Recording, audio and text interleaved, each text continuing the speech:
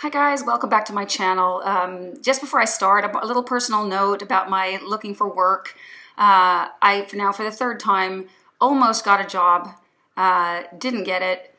So uh, I just have to kind of like get myself back up on the horse and keep going. And I'm going to put some more effort into looking for work for sure. But I can't do it full time, so I'm going to keep this channel kind of alive just because I think it's so much fun. Um, today I'm going to review for you 12 fragrances from the House of Penhaligon's. Uh, it's British, uh, and I there are some fragrances there that I really like. Uh, I don't, I, I, mean, they have so many fragrances. I haven't tried them all, but I just recently picked up this little discovery kit from, um, from a friend, and it has uh, 10 different fragrances. Two of them are from the Portrait collection, and the others are more, uh, I don't know if, they, I don't know all their collections, but I know the portraits, the ones that have different heads that look like animals, or animals, maybe they don't look like, yeah, they look kind of like animals. Um, these are all different concentrations. They're EDTs in here, they're EDPs, and also EDCs, eau de cologne. And then I have also these two fragrances. I might begin with these that I already own. Um, there's Iris Prima that is discontinued that I really love. I think it's like a super soft, like leathery, I think it's suede actually. It reminds me a little bit of Bottega Veneta EDP for women, um, which I find to be quite masculine fragrance, fragrance actually. I'd, I'd, say that's one of the best fragrances that you can get like in a normal store that doesn't offer any niche. Um, this one is just a beautiful kind of floral, slightly, I think it's suede. Uh, I think there's a little bit of vanilla in here. It's like a really soft, beautiful fragrance. I've been, I just got a compliment on this one not too long ago. I don't very often get compliments like, but if I give like a, a girlfriend a hug, then sometimes um, someone will say something. Uh, okay, and Artemisia has been in my collection for quite some time. Um, this one you can still get a hold of. I think this is one of their best sellers. I'm not quite sure, but it's a super easy grab. Um, I'm just spraying it a little, just remember. Oh, it has like a note of green apple here. I know my friend kind of really was happy to discover this note. I hadn't even thought of it as a green apple fragrance. There's tea in here. Uh, there's florals. There's a little bit of vanilla. It's a little musky. It's like a it's it's just a it's a little hard to describe, but what I think is very special about this fragrance is that it feels so expensive and luxurious. There's it has this kind of buttery undertone. I'm not sure if it's maybe orris butter, uh, but it just is really, really. It has that really expensive kind of feeling to it that I makes me feel really sophisticated. Uh, love it, love it, love it. It's these are the kind of bottles where it really pays off to have a hundred mil because it's so easy to wear, and there it it always fits in. Um, so yeah. Oh, now I have to be able to see my nose. I'm gonna. I just put these glasses on because I just get really bored with myself because I always look the same in my videos, and I see these other reviewers are like they do their hair differently, they have outfits, they have different makeup, and I'm just like, I, that's it's just not my thing uh, to get. I'm not a real clothes person. I mean, I like clothes, but I don't. It doesn't it doesn't trigger me. Um, but I do kind of enjoy looking at others when they look different um, in their different videos. I think it's a little, definitely a little adder. Uh, okay, so now for these. So I started off last week with wearing Empressa.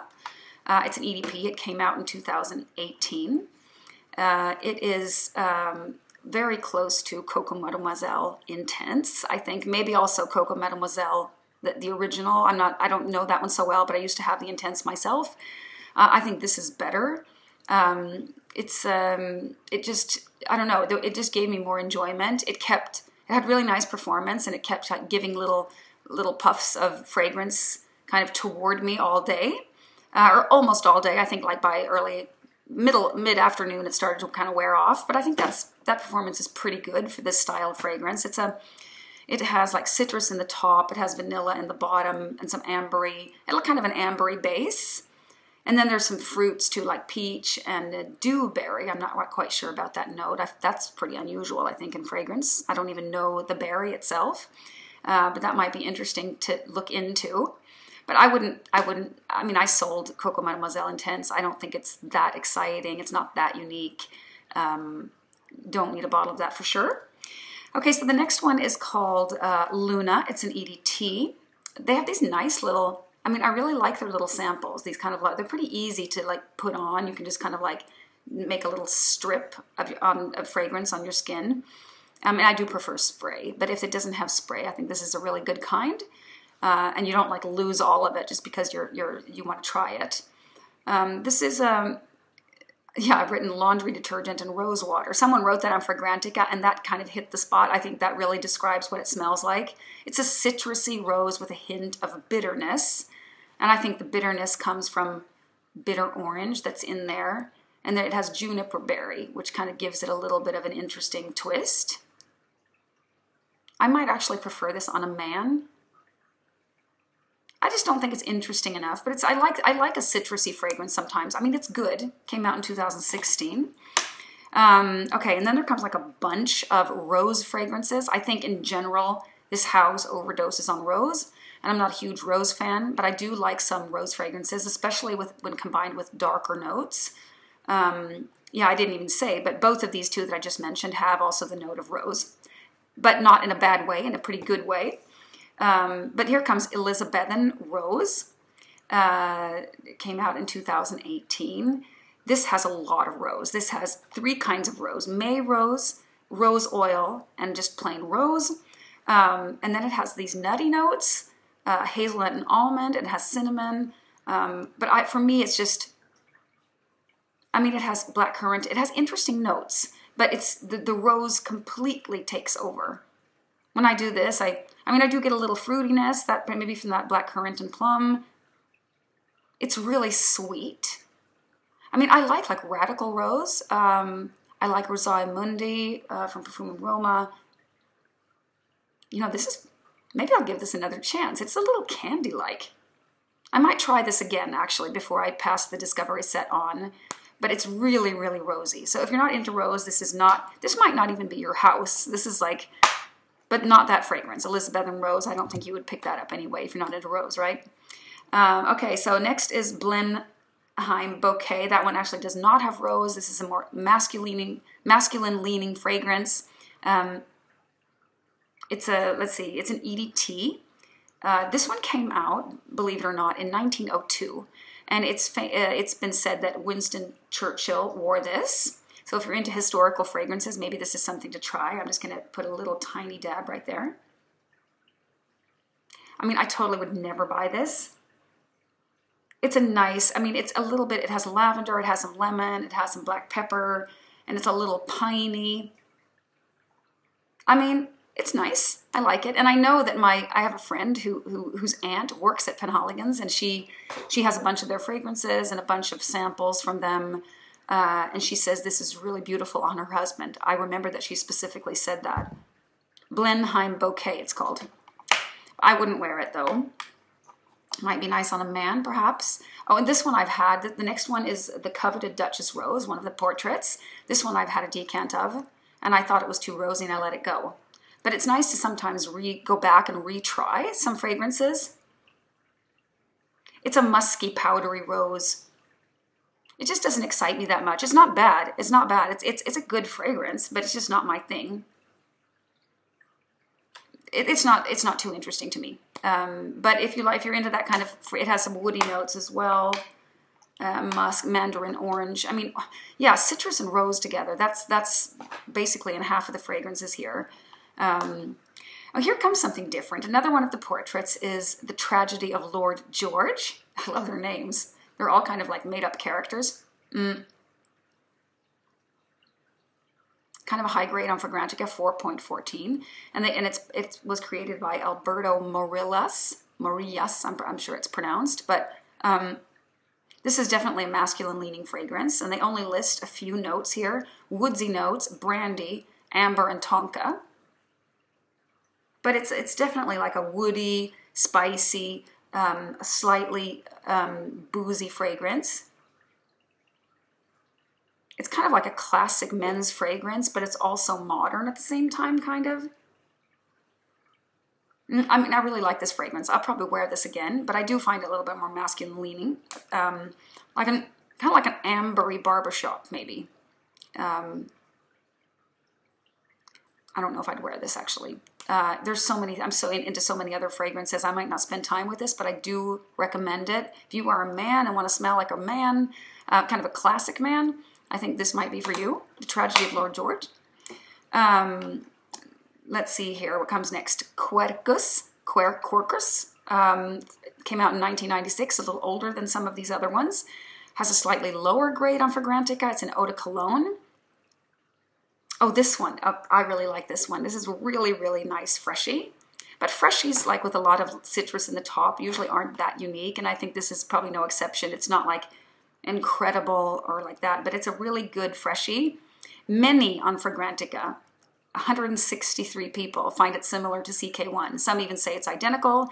And I can kind of see that because I, I, I have some kind of memory what that used to smell like, but I haven't smelled it for so long. And I, did, I could bet money though that this is better. This is more sophisticated, and that one is more like unfinished and not as refined. That one has a little bit more of a shampoo kind of vibe. This is more sophisticated perfume to my nose. Yeah, it, there might be a resemblance there. I mean, I wish I had it more recent in my memory, but I, I can't quite remember. There has some Lily of the Valley, but it's not sharp at all. It has some cardamom. It, it has a hint of sweetness, and maybe that is because of the, I mean, it could be mandarin orange and a little bit maybe the cardamom gives it a little bit of a sweetness. Um, and it has amber in the base as well. This is a really nice freshie though. Um, definitely Quercus, Eau de Cologne. Uh, let's see what's next. Juniper Sling is quite famous, I think, and it's um, supposed to smell like gin and tonic, and I really don't like gin and tonic at all. I find that to be a quite metallic kind of drink. I don't like the smell, I don't like the taste. So for me, it's, it's kind of, I don't know about this uh, comparison, but this one smells really natural, but there is a gin and tonic vibe for sure. Uh, this one just has like, I mean, it has these nice, it's piney, um, and it's juniper berry, which I think is like, come, or that's kind of like the thing that reminds of gin and tonic. Some orange, cinnamon, which I don't get so much. It's more of a, of a sheer kind of transparent kind of fragrance. And it then says that sugar and cherry in the base, uh, with together with vetiver and amber. And vetiver I could imagine, but sugar and cherry, I don't know. I don't know if I can get that. Mm, I might wear this again because this I, I, I, need to spend more time with this one. I'm kind of like getting vetiver's growing on me a little bit, and so is like uh, juniper and kind of like odd odd notes that I before have classified as more masculine notes are kind of becoming more interesting to my nose. Um, this also has the note of angelica, which is I, I, I, not to be mixed up with artemisia. Artemisia is a bitterish note, and angelica is has a musky, woody, sweet, rooty smell. Oh, well, maybe there the sweetness comes might come from in this one. Um, but this one is not as sweet as Quercus, I don't think. It, there's sweet, there's some sweetness in here. It has cardamom as well. Um, I, I, need to spend more time with Juniper Sling. I think this is an interesting fragrance. Oliver Cresp created it, and it came out in 2011. It also has 4.14. Uh, the grade is as high as um, the Tragedy of Lord George. So, so those are popular fragrances.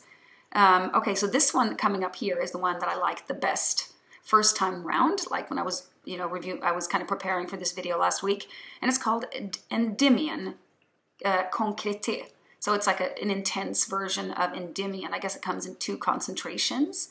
This is the EDP concentration, and maybe the other one is an EDP as well, and this might just be a flanker. I'm not quite sure, but it is the first thing I thought about when I smelled this was um, Reflection Man. Um, so of course I had to try them side by side and I found that Reflection Man is super, super potent compared to this. So this is really kind of a weak fragrance, unfortunately, because I don't like weak fragrances and don't like to spend my money on them. And I think that this about British kind of polite perfumery, that none of these are loud. Like these don't, I think British perfumery is really different from like American perfumery is louder. I mean, like imaginary authors and um, what's it called? Keros- kerosene and um, Italian perfumery, you know, like Profumum Roma is like really loud, and so is Xerjoff. This is like really fine tuned. Uh, these fragrances are all like office safe. They're not going to be in somebody's face. You don't have to worry about that you might be bothering people. This does have kind of a little bit of that same little bit laundry detergent kind of feeling. It's very clean, um, just like Reflection Man. Um, a little bit powdery, but there are notes in here that I cannot detect at all. It has coffee. it has uh, leather, and it has olibanum and incense. But they're all, it's tiny, tiny doses. To me, this is more like a, a clean, musky fragrance. Mm. It has a little bit of lavender in it, the top. I think maybe uh, is the same for. Let me see. I can. I'm going to tell you a little bit about the side by side I made here. Oh, they don't have a lot in common at all, actually, uh, note wise. Sandalwood and vetiver. That's about it. But then there's like um, one of them has lavender, and Endymion has lavender, and uh, Reflection Man has rosemary. Um, let's see uh, Endymion has bergamot and mandarin orange, and then uh, Reflection Man has petitgrain and neroli. So maybe the, you know they give different kind of freshness there. Uh, what else could there be? There's no, but this Reflection Man has patchouli. I would never have been able to say. It doesn't for me. It's not at all of a patchouli fragrance, but it's a lot stronger than Endym, Endymion Concrete. Um, and I was I thought for sure Reflection Man had lavender, but it doesn't. Um, they're not as similar as I first thought. It was just something kind of that it just kind of came to my mind when I sniffed it. It's it's really a nice fragrance. Um, I don't know if I would buy a full bottle because of the performance is not that great. I want to I, I would like some more uh, a little bit of a louder fragrance. I think to spend that kind of money because these aren't cheap fragrances. Um, I mean they have different price categories. I know Artemisia, for example, this one was like 170 180 dollars for 100 mil and the portraits uh, the portraits are much higher than that. Uh, they, they come in 75 uh, mil and they're more expensive than 100 of that one. So you have to look at the prices they're all different. And then there this last one halfeti is really famous.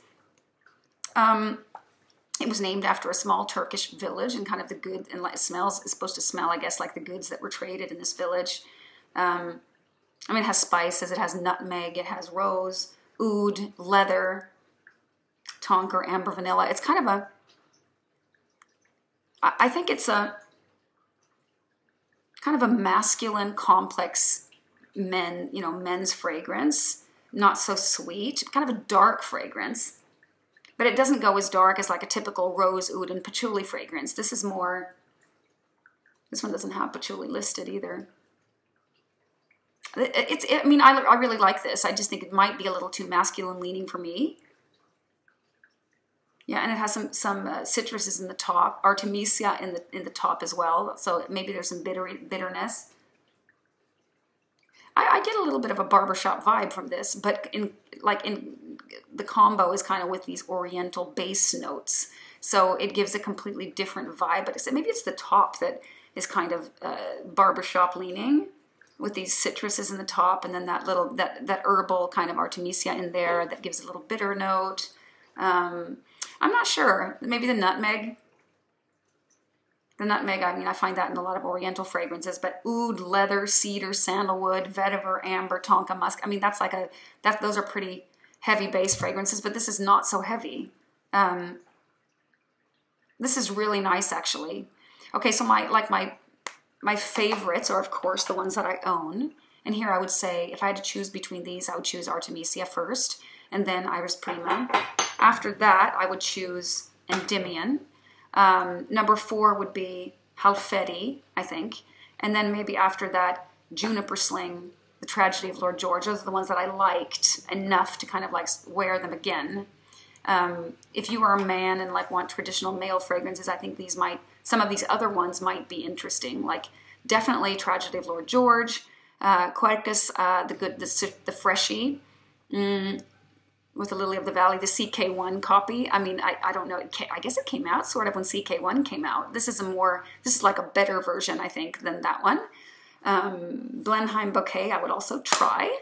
Uh, maybe I mean, I'm not, I mean, not that there has to be a straight line between like masculine, feminine fragrances. I mean, all these Oriental fragrances that I've been wearing lately uh, are for sure unisex. I mean, today I'm early this morning I was wearing um, material uh, from Amouage, and it's for women, but there's nothing f- feminine about it really. It's a, it's kind of a spicy, woody kind of amber that's very dry, and I'm, I've been, it, I mean, it has vanilla, but it's not a feminine vanilla at all. I have been loving it. um, that's going to be a separate video. I'm gonna I'm I'm kind of working my way up to doing a real kind of a wide uh, Amouage uh, review. I only have one bottle, but I have a bunch of decants now, and I've been wearing I've been wearing them a lot. Uh, and I have all kinds of opinions about these fragrances. So um, stay tuned for that video. It'll be coming up. And uh, do check out Penhaligon's. And it would be interesting to see um, do you find British perfumer, perfumery more like uh, careful and more like draw, a little more subdued and polite compared to like Italian, French, American perfumery? Or is there nothing like that? And do you think that it matches like the culture of the people? Because I do find, you know, like British people, they're not as loud as Americans. Um, they're more polite, maybe. Um, I mean, I think I do find Americans polite. They always say "excuse me." They're much politer than Swedes for sure. Um, I, I, do also find Italians to be like more loud than British people. They use their hands a lot. They they kind of um, you notice them more. And I have an opinion about like French people are maybe a little more elegant and sophisticated, and they they um, they care more about their appearance perhaps than than um, from I don't know from other cultures. I don't know if this is true or not, and uh, please comment. Uh, I think it's kind of fun just to see if there's any difference um, from that cultural perspective to see what you think about that. Okay, that was all for now.